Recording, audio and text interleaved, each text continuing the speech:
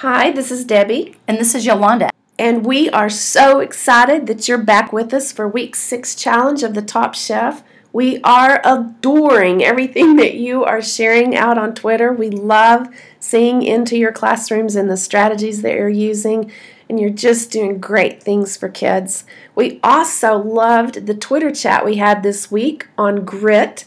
If you've not uh, heard about grit, you might go online and look on Twitter for hashtag Canyon ISD chat and see all of the different things that were shared out about developing gritty kids and becoming gritty teachers. Loved it. Thanks so much for that.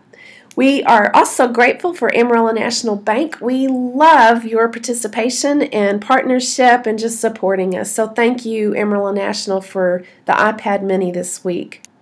This week's Quickfire Challenge, there's five of them. I'm going to let Yolanda tell you a little bit about them.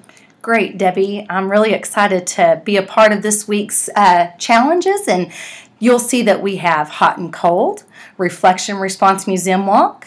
Uh, Debbie's going to tell you a little bit about Venn diagrams later in, in the recording, and then I'm going to uh, highlight synectic snowball and blind sequencing.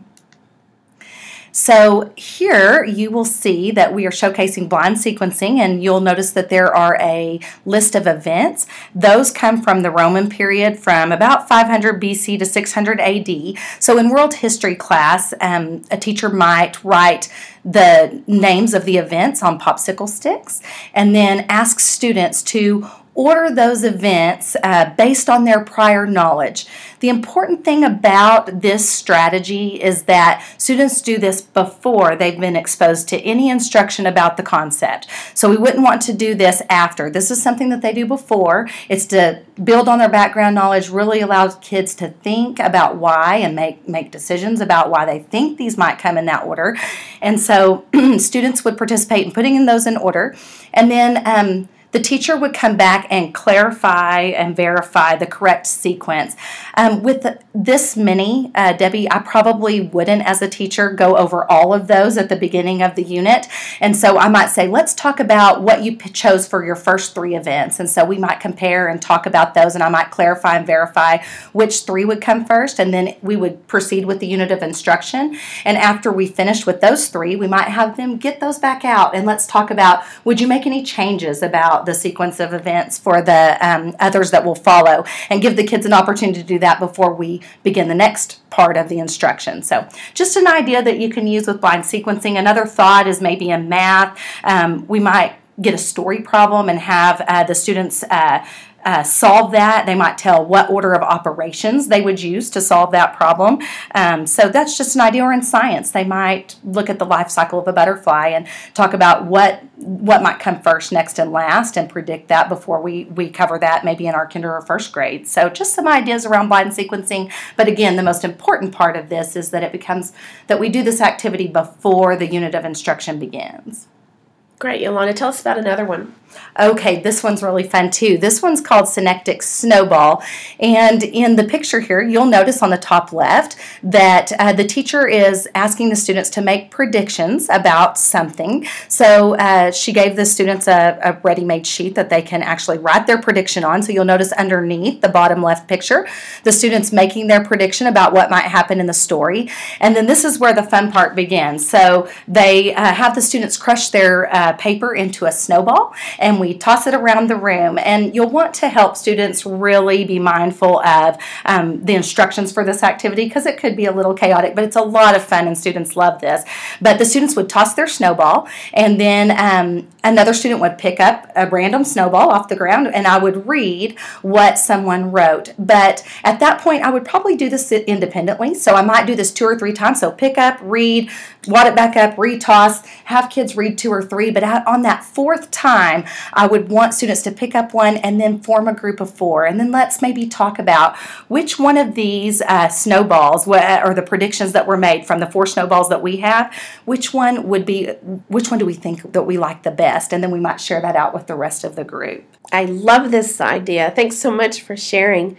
One of the things that's really neat about this picture, though, if you look down in the bottom where it's talking about the tweet, it actually says making predictions, and it's the hashtag GISD Game On. And that's for Galveston ISD, our friends in the very opposite end of the state are doing a very similar game as ours, but it's called Game On. If you want to go out and look and see what all they're tweeting and doing, I think you'll really like seeing their strategies as well. We're going to talk now about Venn diagrams, and I know when we're out on campuses, we see the most creative forms of Venn diagrams, so we look forward to seeing what you have for us this week. But one of the things about Venn diagrams, it doesn't matter the form or the shape or how they're created, it's the comparing and contrasting of information that's the power about Venn diagrams and keeps coming back to us time and time again. This week, you're going to have a technology challenge for your sixth name in the hat if you'd like, and you can use Doodle Buddy, Sketch, EduCreations, Lucid Charts with the Chromebooks, a Google uh, template that I will be sharing with you that will have either two circles or three, like the one in the picture, maybe a little more challenging, or you can use Google Drawing and let the kids draw their own. So this will be the sixth way to have a technology piece into the drawing this week. Well, I hope you try it. Try something new. So we look forward to that. Amarillo National Bank, we thank you again for the iPad donation. We are so grateful. The campus cook-off. Oh my goodness, y'all are just wearing us out here trying to keep a count of who's ahead. But right now, Crestview, Chef Williford, you pulled slightly ahead of Reeves-Hinger and in the race for that hamburger. So we are very excited to see how this all turns out. We also have such a close call, it's even too close to, to say between Gene Howe and Arden Road. And Greenways is in the lead right now, but I'm telling you, there's some Westover tweets coming out this week from several folks there and some modeling. So be on the lookout to see what's happening with the green team. Purple team still in a race with Canyon Intermediate in the lead and Canyon High close behind. We are looking at Education Credit Union and just so excited for your support. We thank you so much. Once again, we just want to thank you for your participation. We love that you're being gritty teachers and helping develop kids with grit. So, looking forward to seeing what you have this week. And we just want to leave you with bon appetit.